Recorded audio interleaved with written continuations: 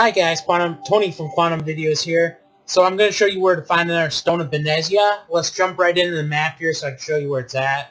It's going to be in the Yngvild Throne Room. And let me open up the world map. That is going to be over here by Dawnstar. And It is going to be right here in Yngvild.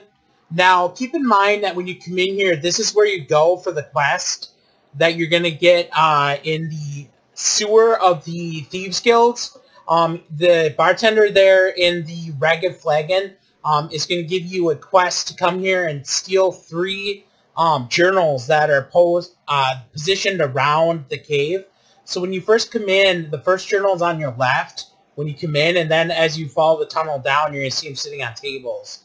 Now when you come in here, you're going to see this guy here. Um, you got to kill the ghost first if you got your game on higher difficulty, just to kill the, the ads before the boss here. Now, when you come in here, this is going to be the Stone of Barenziah. Uh, keep in mind that the final journal is going to be right next to it, and there are four journals in total.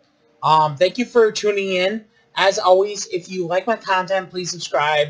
If you enjoy my videos, please click on the bell icon below to be notified when I release a new one. I uh, really appreciate all you guys. Thanks for subscribing. Um, I love bringing you guys new content. So you guys have a great day, and as always, stay awesome.